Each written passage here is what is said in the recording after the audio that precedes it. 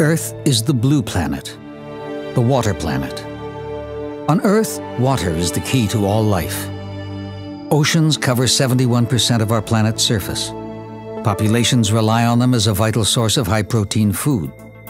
90% of our goods are transported at sea. And the oceans hold a tremendous supply of critical resources.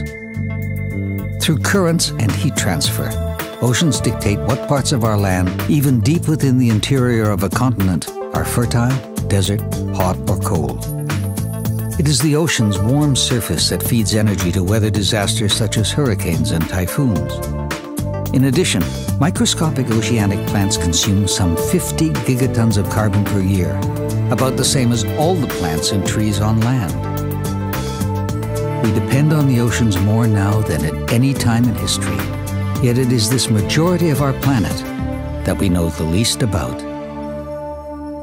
Realizing this lack of knowledge, researchers are now implementing many tools and technologies as part of the Global Earth Observing System to enable a deeper understanding of the oceans. Thousands of automated robotic floats drift with currents at depths of up to two kilometers, sampling pressure, temperature, and salinity. The data collected helps scientists measure conditions driving climate change. Across the equatorial band, an array of moored buoys measures temperature, currents, and winds, allowing scientists to study and predict the signs of El Nino and other damaging weather patterns.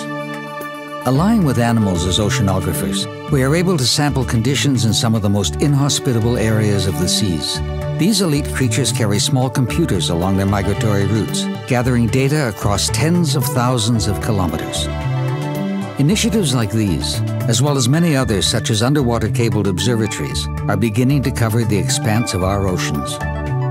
Add to this mix valuable tsunami warning systems protecting some of our coastal regions. Unfortunately, not all coastlines of the world benefit from such technologies. In fact, our global ocean observing system is sparsely deployed, inadequately funded, and a higher degree of international cooperation is needed. There is much at stake. Studying the role of plankton in the planet's carbon cycle and documenting the rise of sea levels will help us understand changes to our climate. By plotting shifts in currents and heat transfer, we can better protect coastal populations and industries from ocean-based disasters. By tracking the creation of weather patterns such as El Nino, we can prepare agricultural regions for flooding and drought, and world populations for harsh winters and heat waves.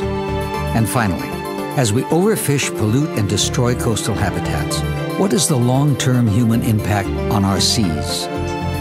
Historically, we did not have the ability to study the oceans. This is no longer the case.